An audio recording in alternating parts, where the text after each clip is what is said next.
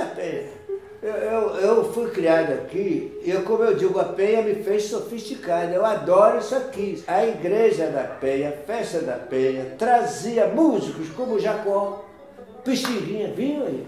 E havia uma integração do músico que vinha aí com o músico daqui. Então, você na Penha ficou a célula maior do subúrbio da Leopoldina.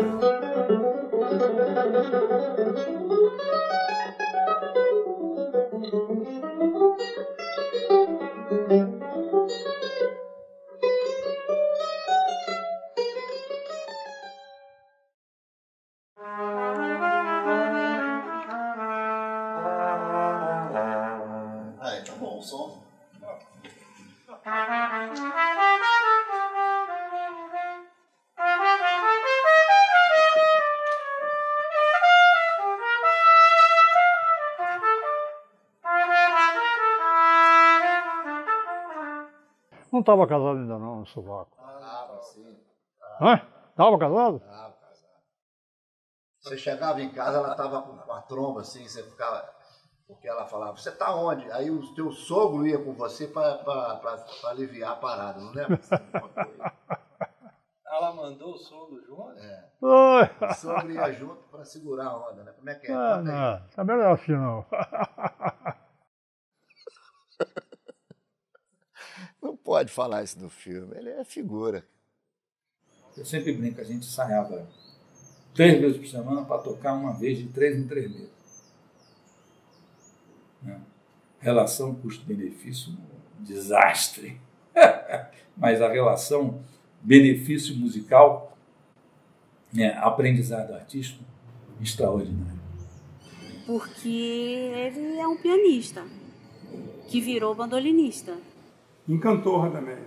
E o Radamés realmente ele tinha essa, essa, esse, essa referência, né? essa imagem que ele encontrou para diferenciar o Joel dos outros bandolinistas. Né? Ele dizia que o Joel é, é como se o Joel tocasse colorido. tal a qualidade musical e técnica do, do Joel Nascimento. Isso é uma história realmente que, que é, precisa ser contada, viu? E existem pessoas que são o bandolim no sentido específico da palavra. Quer dizer, ele é portador do que o bandolim faz de melhor com a música brasileira, que é o choro. O Joel. Vamos mandar mais, vamos mandar mais. Fala mal do Joel agora, moleque safado. Hum.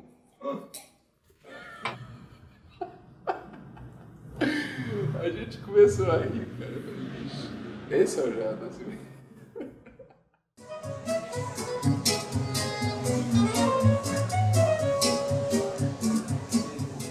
merece muito, ele é uma enciclopédia é, da música, do choro, do som. Ele, ele é o som, ele é o improviso, ele é o estilo, como diz o, o disco que o Henrique fez.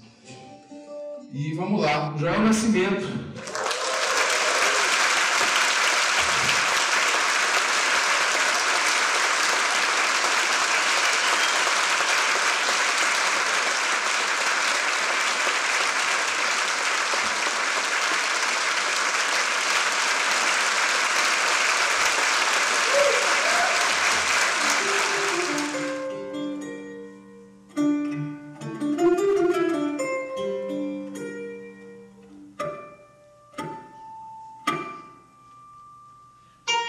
Bom,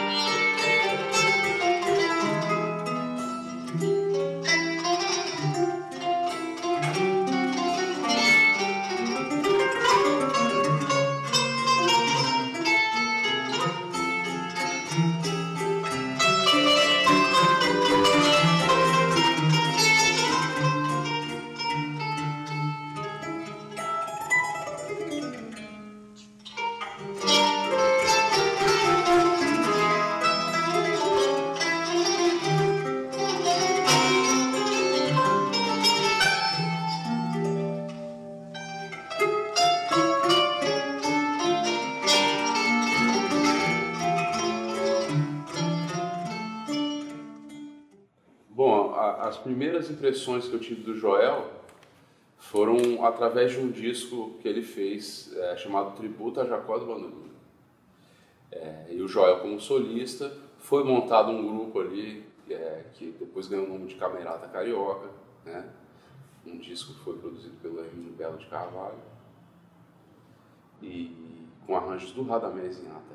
Então, é, quando eu ouvi esse disco, eu realmente fiquei chapado, assim, fiquei diferente de outras coisas que eu tinha ouvido. Então, foram é, dois aspectos assim bem é, aparentes assim para mim. Primeiro foi a formação e, e a maneira, a concepção né, dos arranjos, né, uma coisa camerística. Né? O que quer dizer isso? Que cada instrumento é, ganhou uma importância diferente é, dos regionais antigos de choro, porque cada um, se você pegar a parte de cada um, existe uma história independente ali de melódica, principalmente melódica, que quando junta aquilo tudo, aí multiplica, fica maior do que a soma de todos juntos, né? E aquilo para mim foi realmente é, diferente, pô, que diferente isso. Eu ficava tentando ouvindo, tentando perseguir o que o bandolim estava fazendo, mas ao mesmo tempo o violão me puxava para uma outra frase, aí o cavaquinho fazia uma outra melodia, aquilo ali, eu falei, caramba, que coisa é essa diferente? E, eu, e o outro aspecto que eu que esse realmente foi para mim foi marcante, foi o som do bandolim. Eu falei, nossa, que, como é que o cara tira esse som do bandolim? Eu era moleque, né? Porque é um som grande, né? um som amadeirado, grande, forte, assim, e com muito harmônico, né? Falei, puxa vida, aí é, fiquei com aquela, com aquela coisa na cabeça e, e a partir dali, então, aquele som passou a ser também um- uma busca minha, né? Encontrar um som parecido com aquele dali, com aquele som do Joel Nascimento.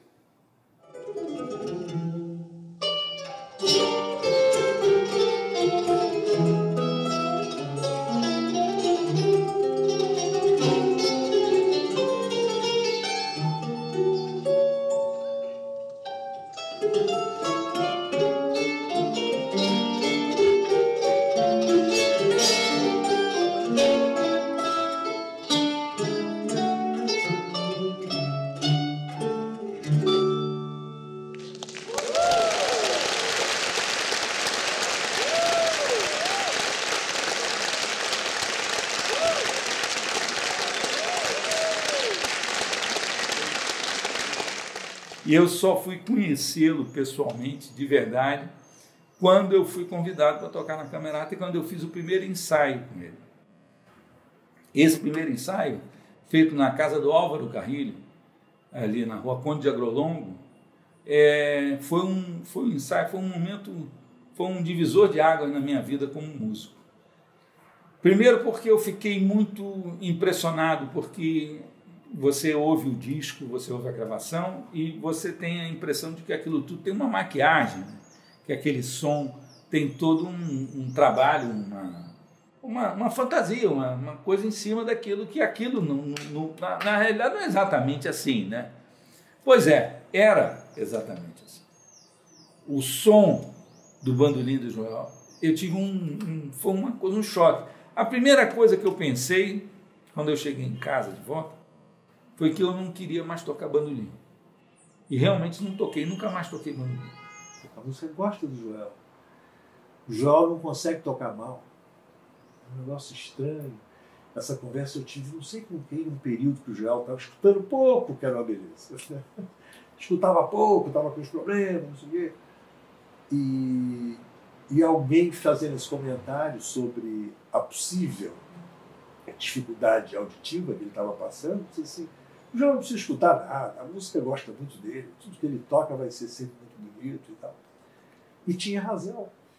Ele marcou de conversar comigo sobre o repertório, que ele gostaria de fazer uma gravação com essas músicas.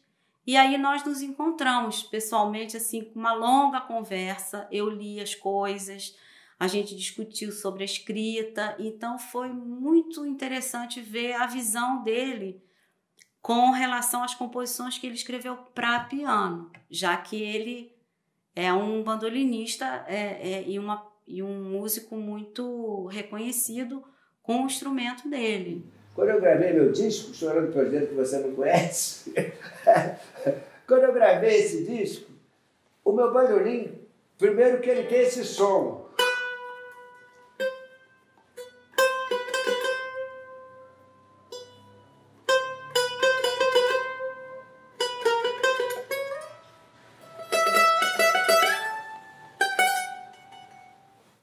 Ninguém fazia isso, nenhum bandolim faz isso. O arranjador começou a ver que o bandolim dava samba. O bandolim era aquela coisa que cantava Minha Vida, era o papo, fazia uma frasezinha na, na seresta. Ele virou um instrumento moderno, dentro da concepção de arranjos. O lado musical é um negócio incrível. No subúrbio da Leopoldina foi, hoje em dia não é, mas foi o, o, o, local que, que, existia mais chorões. Reduto de choro era subúrbio da Leopoldina. Sem falar que Psiguinha morou aqui, mas aqui morou Dino, morou Abel Ferreira, morou o Baden Powell, morou em Ramos, o Paulo Moura morou em Ramos. Aqui tinha o pessoal do músico da, da, do Corpo de Bombeiro, da, da, da polícia. Era um músico que tocava choro, tocava sambone, clarinete e fazia, não é força de expressão não, mas a gente pode dizer que de quatro em quatro casas tinha um conjunto de choro. A gente saía fazendo seresta pela madrugada, o pessoal abria a porta e dava café para você.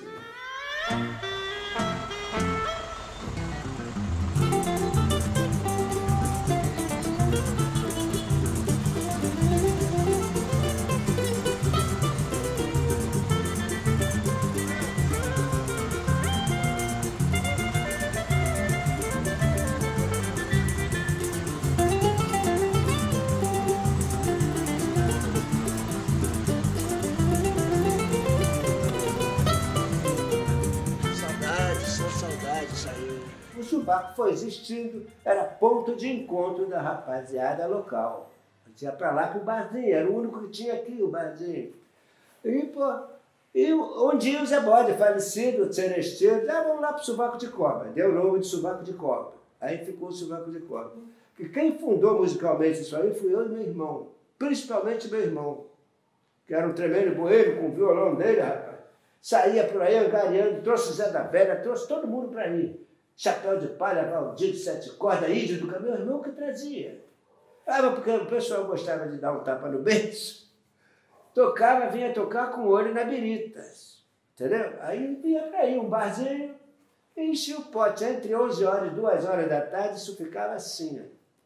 Lá na, na Circular da Penha, aos domingos tinha lá uma reunião do pessoal lá do Sovaco de Cobra, que era muito bom. Foi uma aula muito boa, porque eu conheci eu tive o prazer de tocar com Pixinguinha, com Paulo Moura, Abel Ferreira, o Altamiro Carrilho, um bocado de músico famoso aí, muito bom, né? Então, para mim, foi uma, foi uma escola muito boa, muito boa. Eu comprei o Jornal do Brasil e estava na rodoviária, aqui no Rio de Janeiro. esperando para pegar um ônibus para algum lugar. E, e, li aquilo ali e me deu uma vontade danada de conhecer aquele negócio de sovaco de cobra e, e, saber onde é que era aquilo, saber se eu conseguiria chegar ali naquele ambiente. Né? 10 horas da manhã fui para o sovaco de cobra sem saber absolutamente, sem conhecer ninguém, não tinha nenhum contato com a turma. Senhor não conhecia ninguém.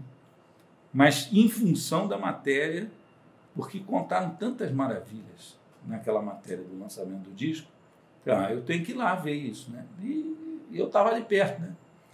E quando eu cheguei lá, 10 horas da manhã, o botiquim abrindo assim, e aí o Joir me recebe assim, fala, ei garoto, já teve aqui alguma vez? Não, primeira vez.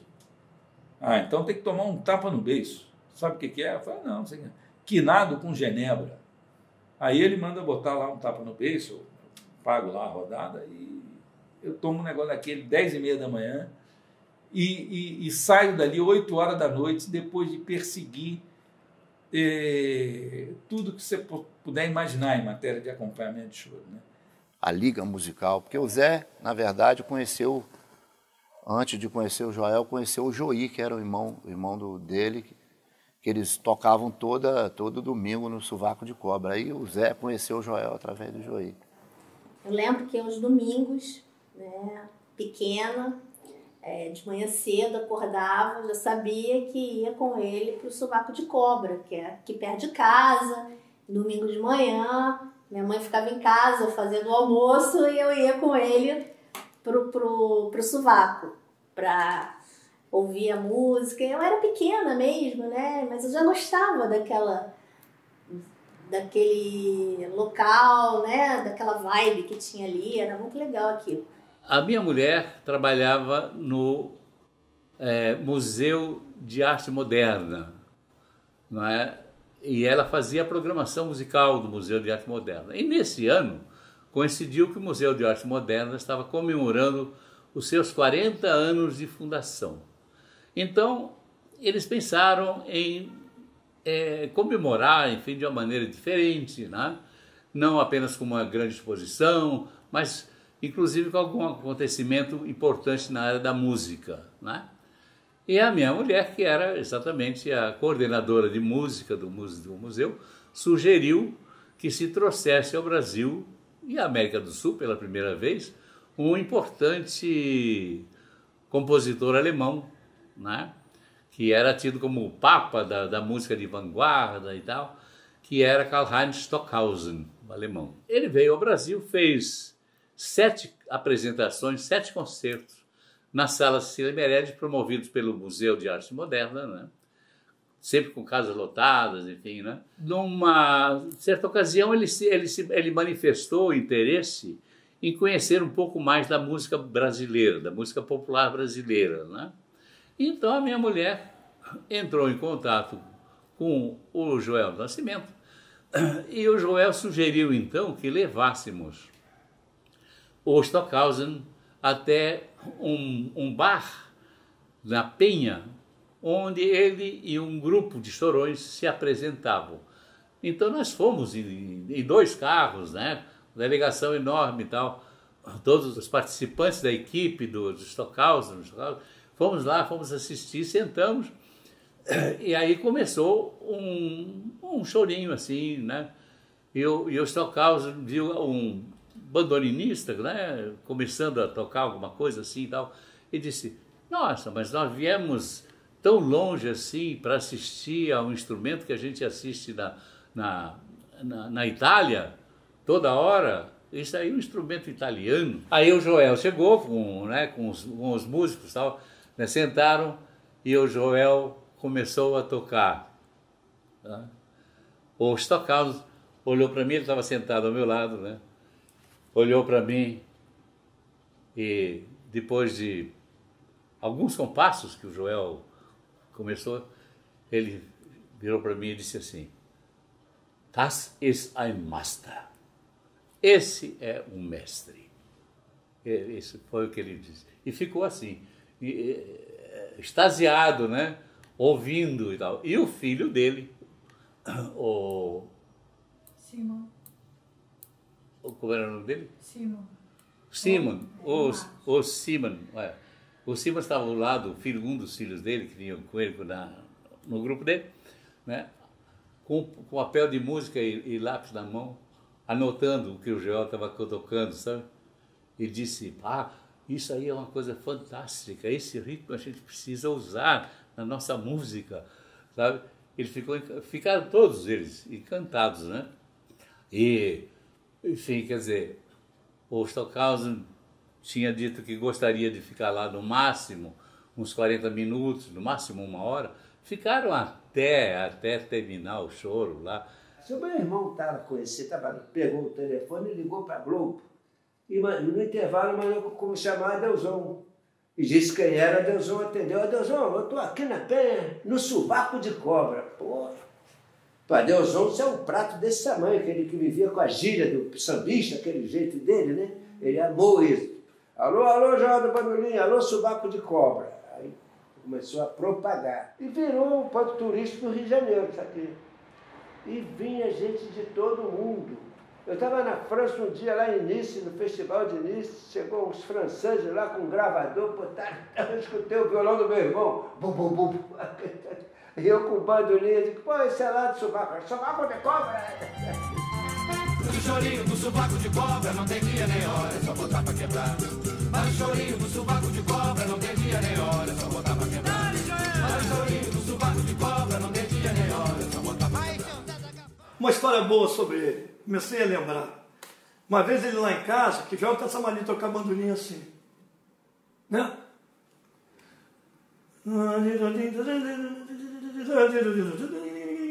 Na minha casa, minha avó me chamou no canto assim, mas meu neto, poxa, esse ceguinho toca muito bem. Eu falei, mamãe, não é ceguinho não, é aquele revira os olhinhos, né? Tá fica, fica muito inspirado, entendeu?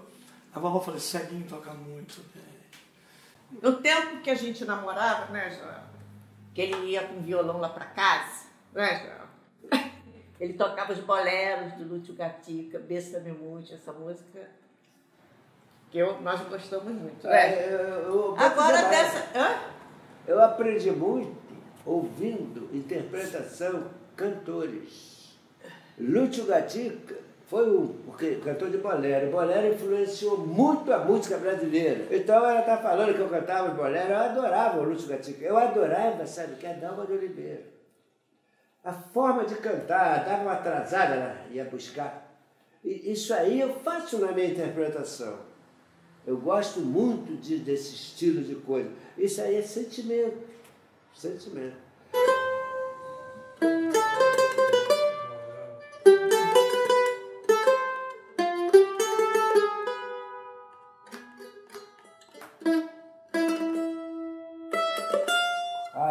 Aquela, aquela velha interpretação, né? Uma vez a gente tinha um show no Teatro Opinião com João Nogueira. Mas daí se botar na internet, Diogo Nogueira vai querer matar a gente. Ziza Nogueira vai querer matar. E a gente estava ensaiando lá na minha casa antes de ir pro show, que eu ia no carro do Joel. O Joel tinha um Fusca verdinho, caindo aos pedaços, mas era aquilo que nos levava. Joel parava aquele Fusca lá na porta de casa. E a gente começou a passar umas músicas e o negócio foi ficando bom, foi ficando bom, ficando bom. Não fomos pro show. Ficamos tocando lá em casa. Bateram na porta, fui ver, era a babá da Elisete. João, você dá injeção. Sabia que eu dava injeção. A Elisete está precisando tomar uma injeção. Tá lá, daqui a pouco eu vou lá, tá? Passou, bati na porta dela, assim, fiz uma cruz assim, passei. Tá doendo, Elisete? Não, não, tá bem. Quando eu comecei a jantar, eu fui reportei. Fui obrigado a reportar meus 10 anos na, na, na música do Botiquim, naquela vitrola que cai o disco, a roda cai. Aí eu comecei, saudade, torrente de paz. Comecei a me lembrar dessa música. Agora, sabe por quê, meu querido? Porque o Joel era um brincalhão, né? Um moleque, aquela cara séria, assim. Mas é um moleque total da penha. Né? Um uma figuraça. Então eles estavam viajando com o projeto Pixinguinha, o Radamés estava junto, que era aquela época que o projeto Pixinguinha era luxuoso, né? que levava os músicos para fazer turnê pelo Brasil afora, com os melhores hotéis e tal. Então foi o Radamés com a Camerata, e se não me engano foi a Elisete Cardoso também, com eles. Né? Aí chegando lá no hotel, o Radamés estava na piscina, todo mundo na piscina, assim, se refrescando, no Nordeste, me lembro não me lembro exatamente qual é a cidade. Mas estavam lá, de repente, entra o Joel na piscina do hotel, nu. Aí cruzou as pernas, escondeu as partes baixas, assim, das pernas e entrou, assim, tipo, fazendo uma, uma brincadeira, né? Como se... Aí o Radamés, que já tinha um problema na vida, era cego no olho, o Radamés olhou aqui, assim, olhou e levou um susto, né? É o Joel! Ele abriu a porta, o que, é? É assim. Eu falei, tá, eu, eu, eu entrei, pô. Ele foi logo pro piano, dando lá, pô, pô, porra, ele era afobado, eu, pô, nervoso, tirei o bandolim da caixa para tocar por Radamés, uma música dele. E, no piano ele dá toda a introdução da orquestra. O piano faz a orquestra todinha. Ele... A música é essa aqui, ó. Ele dá então. Depois da orquestra.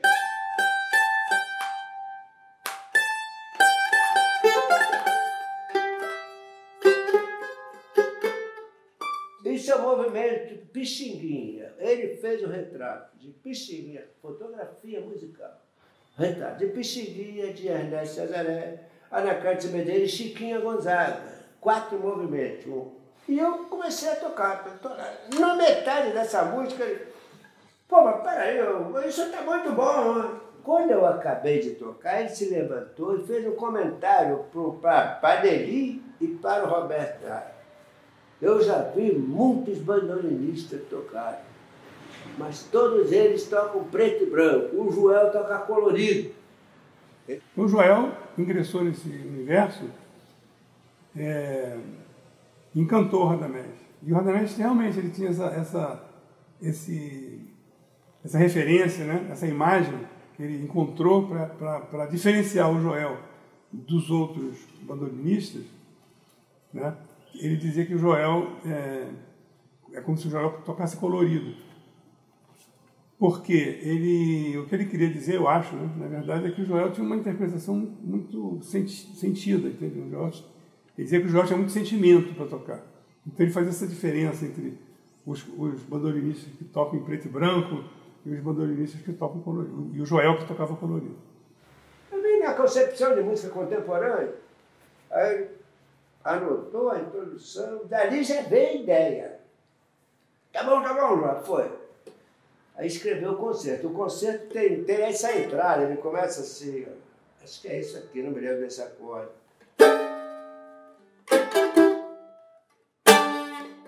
É uma porrada, tá gravado isso. Tá nesse, esse terceiro movimento não está essa parte, mas está nesse disco aí. Então, ele escreveu o concerto. Eu gravei com a Orquestra de Câmara de Blumenau, ele adorava. Uma vez eu cheguei na casa dele, eu escutei e estava tocando. Quando eu entrei, estava ele e Tom Jobim sentado, escutando. O Tom gostava muito dessa música. E ele adorava, né? E ele ficou, ele diz, ele te adorava como pessoa também. Ele tinha verdadeira adoração por você. Ele teve um derrame Aí ficou internado, eu estava viajando. Quando eu voltei, fui lá na clínica visitar ele. Ele já estava se recuperando. Aí quando eu cheguei, ele ficou assim, a enfermeira, ele te conhece, conhece, ele já estava conhecendo tudo. Aí pegou na minha mão, apertou, aí lágrimas nos olhos, rapaz, que emoção. Apertou minha mão, rapaz, porque ele estava sentindo falta que eu não fui visitar ele. Aí ele se recuperou, começou a estudar. Ô João, já estou tocando, estudando. Aí teve outro, foi fatal. Né? Mas é, foi uma convivência muito bonita, porque a gente viajava junto, ele sentava, ele não podia jantar. Eu vou com vocês, aí ia lá, gostava de tomar cerveja. Aí sentava do meu lado, aí via o meu prato, pegava um garfo, falou, o que é isso aí? Eu digo, ah, mas isso aí é, é vangole, será que é peixe? Tucunaré, aí pegava um garfo, no meu prato, espetava e tirava. No fim eu já tirava e botava na boca dele. Era um negócio assim. Dormia no quarto comigo, nem roncava ele. Fazia um barulhinho. Velho daquele. Pô, Um negócio incrível.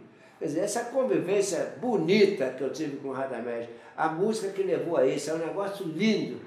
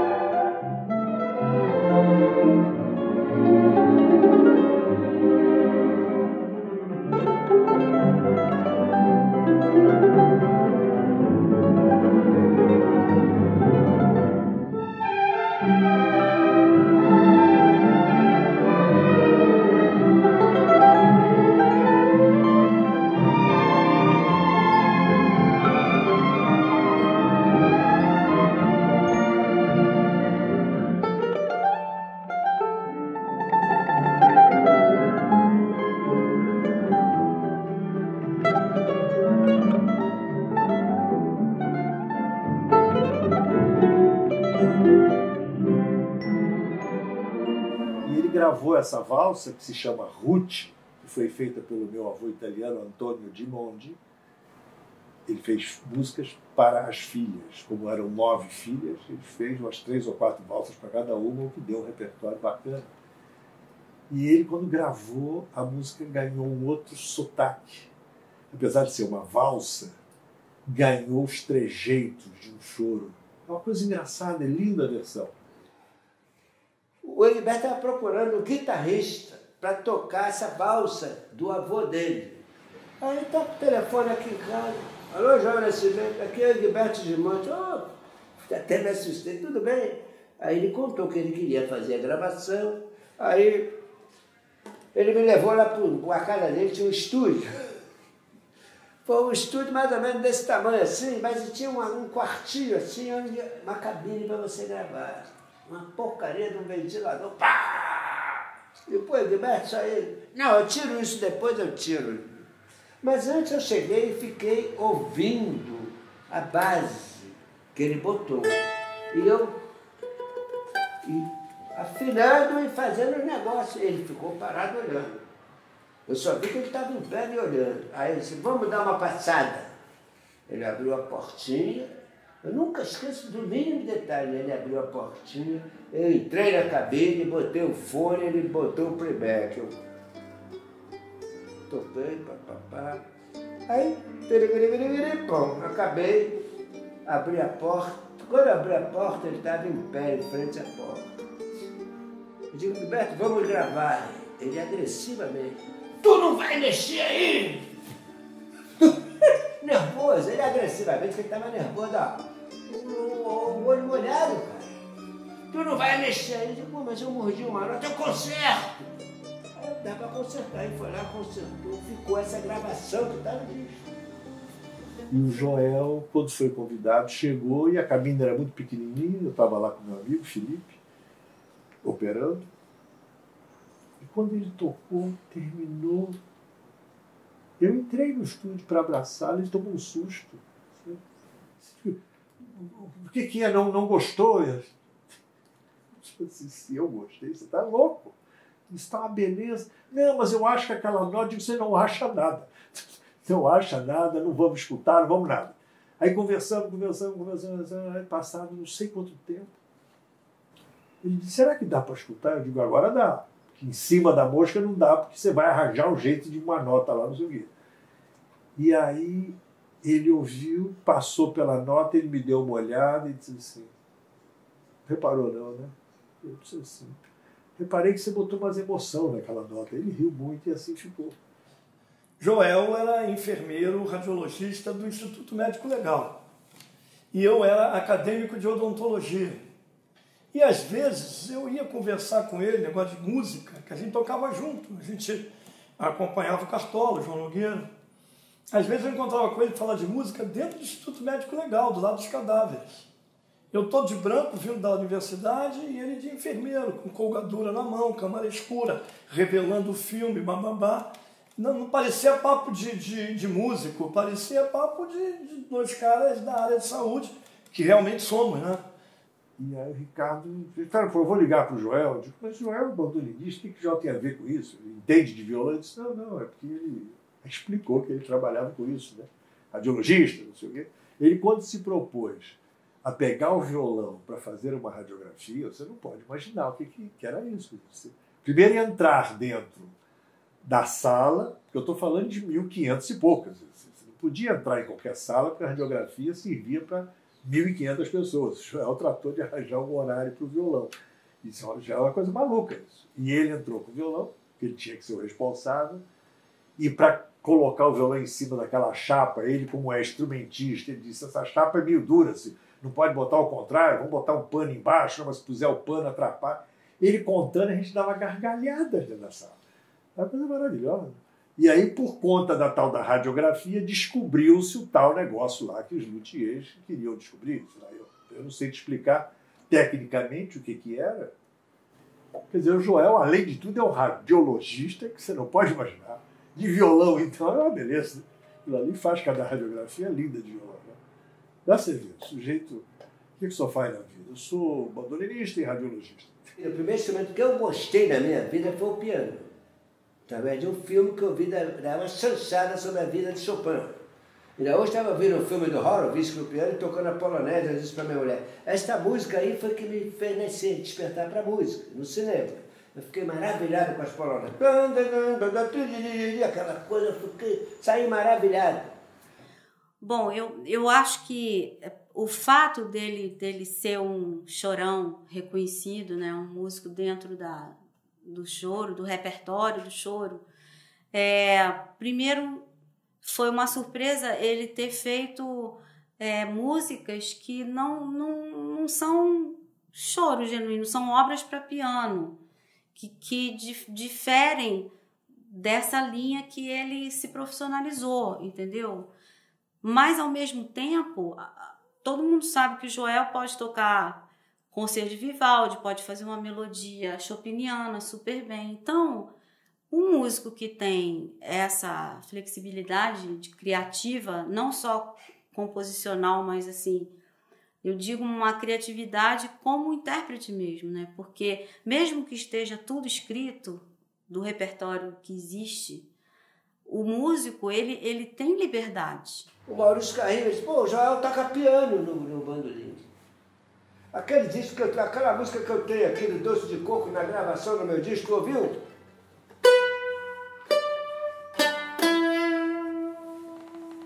Parece um piano, cara. Ninguém faz isso, faz. Então, tá aí. Agora, isso aí eu não quero dizer que eu sou melhor, que seja melhor do que ninguém, não. Não é isso, não. Então, é, é, é, esse meu estilo partiu da minha surdez também. Da minha surdez. Por que não? Porque eu não fiquei surdo de, assim, totalmente. Eu fiquei surdo de um ouvido que me impossibilitou de estudar o piano. Vou gastar tempo de estudar piano se eu vou ficar pior e vou deixar o piano mais tarde? Eu parei. Eu não vou conseguir tocar daqui para cá porque eu escutava assim aqui, ó. A parte aguda do piano. Aí larguei. Mas esse lado eu ouvi, eu ouvi o bandolim relativamente bem, deu para mim começar a minha carreira. Aí abandonei o piano. Eu digo, agora em Jaramaro eu preciso ter uma profissão. Aí fiquei matutando. Eu disse, segundo grau, o que, é que eu vou fazer? Não fiz faculdade. Aí encontrei na esquina uns colegas meus conversando sobre esse negócio de técnica radiológica. Aí a gente pode trabalhar quatro horas por dia, pode ter três empregos. Eu digo, isso é que serve para mim. Mas é perigoso, eu digo, é perigoso, nego não trabalha nisso. Nunca vi ninguém falar que morreu de raio-x. Não existe isso. Eu vim tomar conhecimento dessa importância do Joel Nascimento como músico, realmente quando ele começou a tocar profissionalmente. Né? Porque até então ele tocava no sovaco, com o irmão dele, meu tio, nas rodas do, dos amigos, mas ele não era profissional. E quando ele se tornou profissional, é, e eu já era maiorzinha também, né? Eu comecei a ver, aí já falava no rádio, né? O nome dele, aparecia na TV, aí já tocava no, no, no teatro. Aí eu falei, nossa, e as pessoas sempre elogiando, né? Pô, teu pai toca muito, não sei o quê. Aí eu falei, nossa, eu também gostava do jeito dele tocar, né? achava bonito, todo mundo, as pessoas chegando para falar. Nossa, você toca, eu fico emocionada, você transmite um, um sentimento bonito, né? Com teu som. Então, isso tudo foi me despertando e depois vieram as críticas, né? Boas. e o, em 1974, em Paquetá, ele me apresentou o João Nogueira, meu irmão. O João Nogueira já tocava bandolim. Eu comecei a tocar bandolim em 69, é outra história. Aí o João contou o braço de boneco, a música dele, do Paulo César Pereira, bonita. Eu e meu irmão fez um floreado lá, o João ficou maluco começar a gravar segunda-feira, você vai gravar comigo. Entrou aqui, não saiu aqui, porque desse lado eu sou surdo. Aí eu, eu digo, pô, João, tá bom. Vim para casa, a vizinha, telefone eu dei da vizinha, eu não tinha telefone. Ela ligou, ah, estão ligando da Odeon. Eu fui lá, atendi, é para gravar logo mais, era segunda, às 9 horas da noite. Aonde é que fica isso? É Cinelândia, papai, eu não sabia. Pô, chega lá, enquanto Dino, enquanto Paulo Moura, pô, tudo no estúdio, o que, que eu estou fazendo aqui? Gravei, o produtor é o Adeusão Alves. O Adeusão, quando para nas pessoas, é terrível. Ele parou na minha, rapaz. Porque o meu som, quando eu comecei a tocar, todo mundo ficou maravilhado.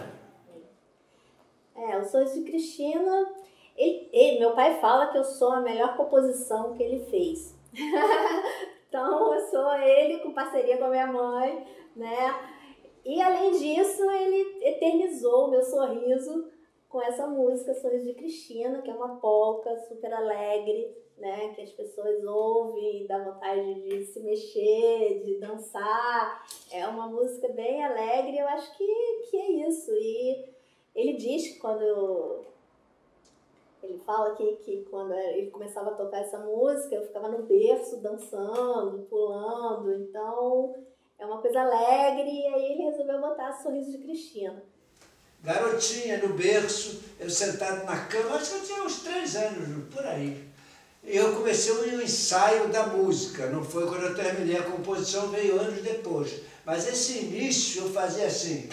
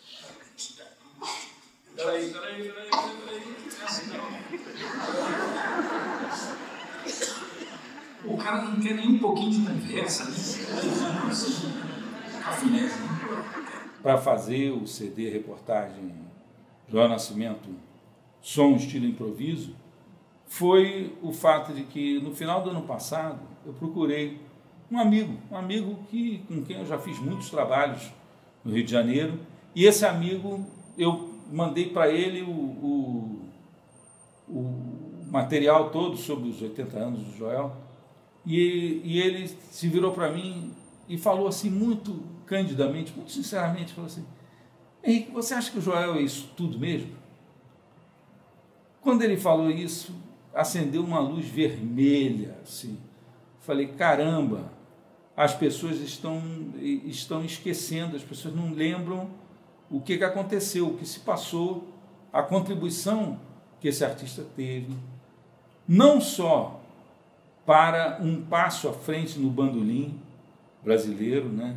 um passo à frente depois da presença é, é, super marcante né? do Jacó do Bandolim, quer dizer, um cara que chega com uma personalidade a ponto de dar um passo à frente, de ser diferente do Jacó e de ir com o bandolim adiante. っていう楽器があるんですけども、このバンドリンを弾かせては東大一というブラジルのバンドリンの名手をご紹介いたします。バンドリン、ジョエル・ナシメント。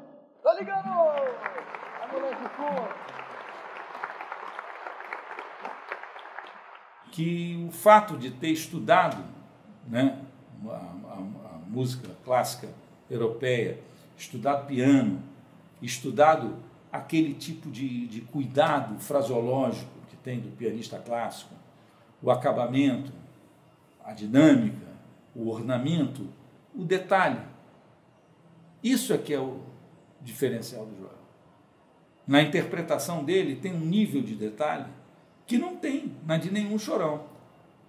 E olha que nós tivemos um exemplo, por exemplo, o Jacó do Mandolim era muito caprichoso com as suas interpretações, né? Mas o Joel conseguiu, e olha que isso foi um negócio muito difícil. Ele conseguiu realmente dar um passo à frente nessa questão interpretativa, do acabamento da interpretação.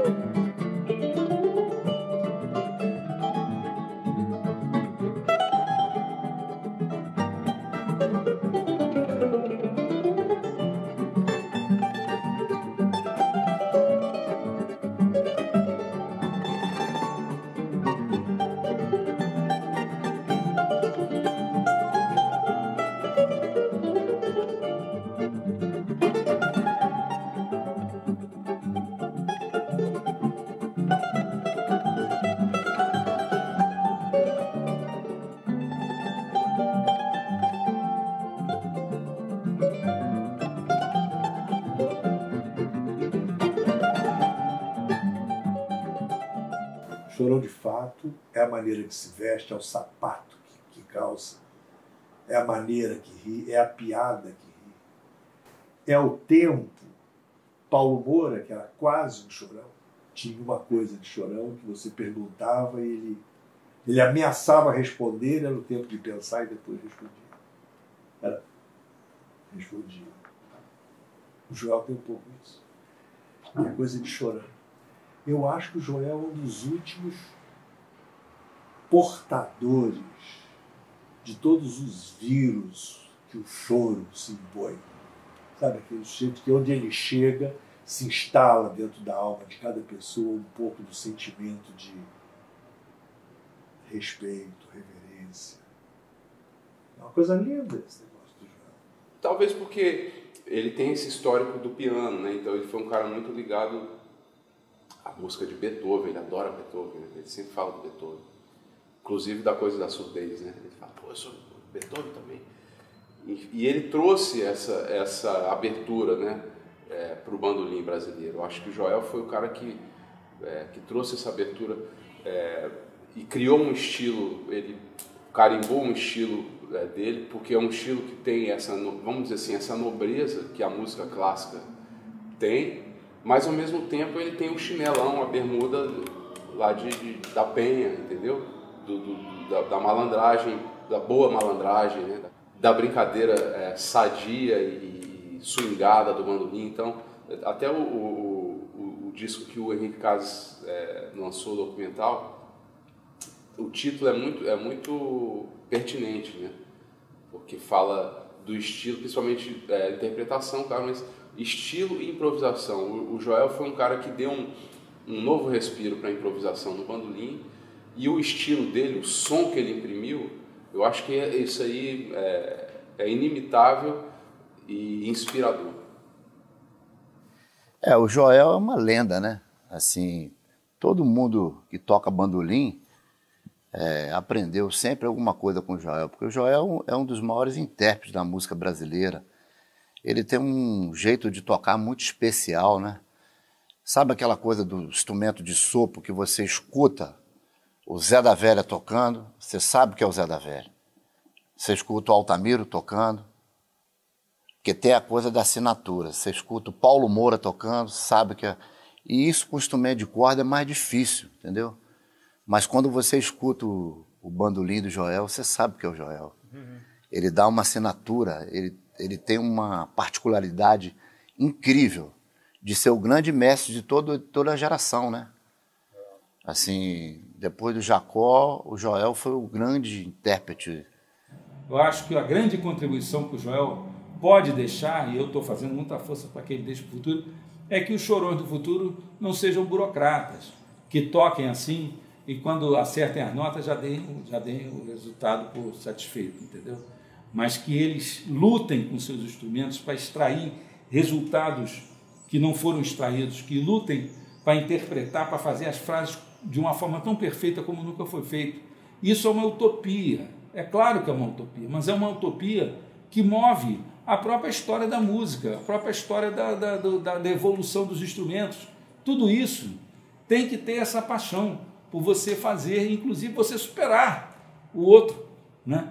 Eu acho que isso é uma coisa, é, é, é uma coisa muito importante que é visto hoje em dia como ah, parece que o cara está querendo tocar melhor do que fulano. Não é nada disso. Isso é uma coisa filosófica, uma filosofia. Eu acho que o Joel nos ensina muito disso na prática. E quando ele tem a oportunidade de ter contato com bandolinistas mais jovens e tal, e ele começa a mostrar as coisas, e o cara percebe o, o, o universo, né? que, ele, que ele abre uma porta, assim, o cara mostra o mundo, né?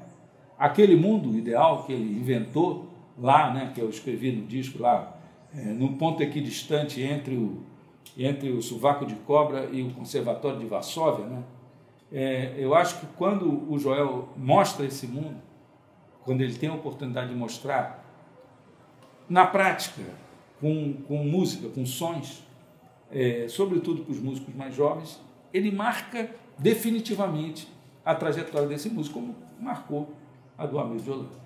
Eu acho o seguinte, a última coisa que eu tenho para dizer é o seguinte, que o Joel, apesar é, de, dessa dificuldade é, que ele tem com a audição, que a gente, é, que todo mundo sabe que ele tem, ele ouve melhor do que a gente. Dorme com essa, que ele ouve melhor do que a gente.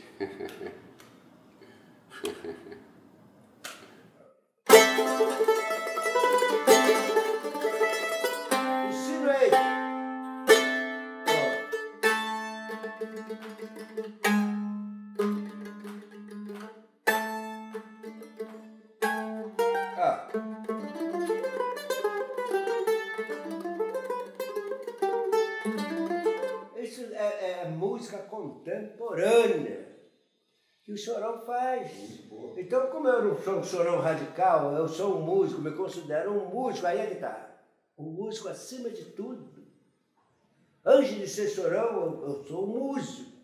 Então eu faço essas coisas. Eu estou respondendo a você. O que, que você acrescentaria mais? Eu acrescento mais porque eu sou, acima de tudo, um músico. Por isso que eu acrescento mais.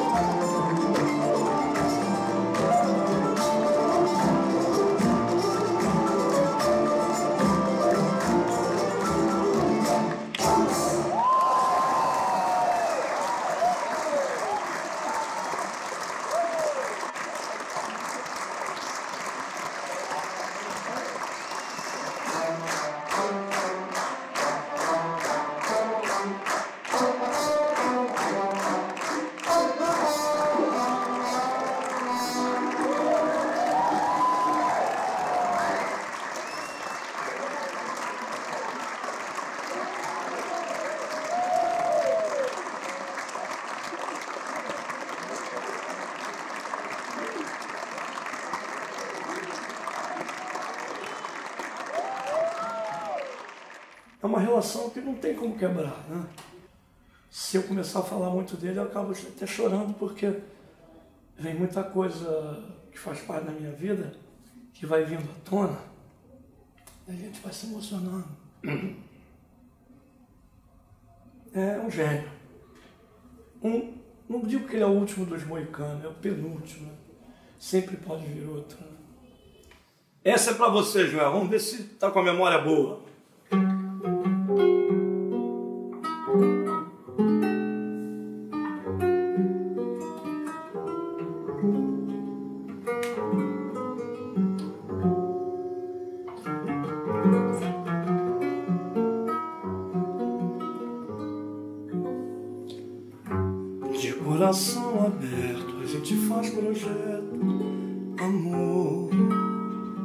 Gente escolhe um rumo pro nosso desejo. Mas nem tudo dá certo, o tempo é mal secreto, amor. Ele brinca nos caminhos com o nosso cortejo. A morte está por perto, o tempo é um objeto, amor. E ela é quem nos dará um derradeiro beijo. Mas morrendo poeta, a música prossegue, amor. Pois é a mão de Deus que movimenta o realejo. Essa valsa chama Valsa do Realejo. É, Paulinho Pinheiro fez a letra dela e a melodia dela eu dediquei ao Joel.